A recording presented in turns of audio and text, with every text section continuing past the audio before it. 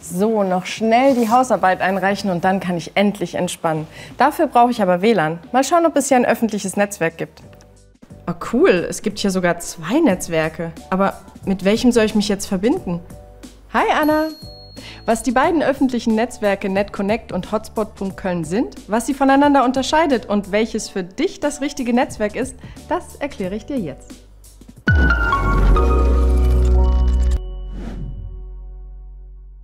NetConnect und Hotspot.Köln, was ist das eigentlich?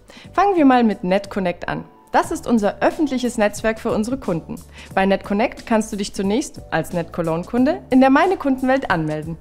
Meine Kundenwelt findest du auf netcologne.de oben rechts unter Login. In dem Pop-up-Fenster klickst du nun auf Meine Kundenwelt Login.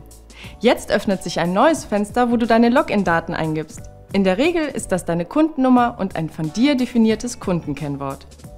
Wenn du dich angemeldet hast, findest du unter Meine Daten die Kachel NetConnect. Wähle den Button Jetzt einrichten aus. Nachdem du auf den Button geklickt hast, wirst du in einem Pop-up-Fenster über die Vorteile von NetConnect informiert und nochmal gebeten, auf den Button Jetzt einrichten zu klicken. Wenn du noch mehr zu NetConnect erfahren möchtest, kannst du dies über den Button Mehr zu NetConnect tun. Jetzt musst du Login-Daten, also einen Benutzernamen und ein Passwort für deinen NetConnect-Zugang festlegen. Mit diesen wirst du dich später an deinem Endgerät in das NetConnect-Netzwerk einloggen können. Hast du dies getan und hast du auch die Checkbox zu den AGBs angeklickt, klickst du auf den Button Jetzt einrichten. Nach dem erstmaligen Festlegen der Anmeldedaten wird dir eine Bestätigung angezeigt, dass deine Anmeldung abgeschlossen ist.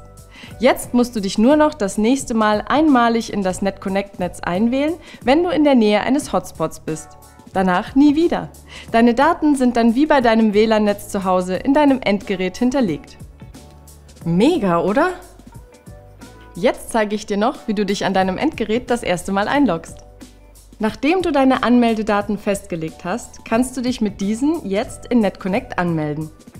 Dazu suchst du in deinem Endgerät nach verfügbaren Netzwerken und wählst dann NetConnect aus, wenn es verfügbar ist. Nun gibst du deine von dir festgelegten Anmeldedaten und dein Passwort ein. Wichtig! Dein Benutzername ist eine Kombination aus deinem von dir selbst festgelegten Anmeldenamen und der Endung @netconnect.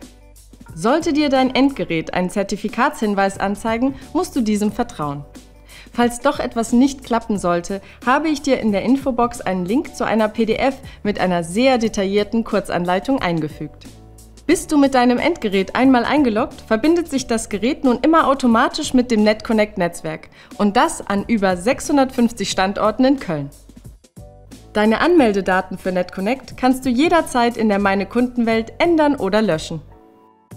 Jetzt weißt du, was NetConnect ist und wer es nutzen kann. Ich verrate dir aber noch, was Hotspot.Köln ist und wer das nutzen kann. Hotspot.Köln ist das frei zugängliche öffentliche Netzwerk der Stadt Köln, welches von uns betrieben wird. Im Gegensatz zu NetConnect musst du kein NetCologne-Kunde sein, um es zu verwenden. Wie du dich dort einloggst, das zeige ich dir jetzt. Für die Anmeldung im Hotspot.Köln-Netzwerk brauchst du keine Anmeldedaten.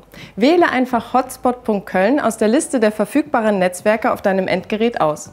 Jetzt öffnet sich ein Pop-up-Fenster, in dem du die AGBs akzeptieren musst und dich durch das Klicken des Weiter-Buttons anmelden kannst. Jetzt kannst du das Netzwerk für vier Stunden nutzen und dich nach Ablauf der Zeit erneut einwählen. Jetzt weißt du, was der Unterschied zwischen NetConnect und Hotspot.Köln ist und welches Netzwerk für dich das richtige ist. Also, viel Spaß beim Surfen in Köln. Danke dir! Wenn du wissen willst, wo die Hotspots in Köln sind, dann schau mal in die Infobox rein. Dort habe ich dir die Links zur Hotspot-Karte und zur Übersichtsseite von NetConnect und Hotspot.Köln eingefügt. Da siehst du, dass du fast überall in Köln WLAN powered by NetCologne zur Verfügung hast. Und wenn du noch weitere Fragen hast, dann schreib sie auf jeden Fall in die Kommentare. Lass auch gerne einen Daumen nach oben und ein Abo da. Und vergiss nicht, die Abo-Glocke zu aktivieren. Dann verpasst du auch nichts. Also, bis bald. Wir sehen uns.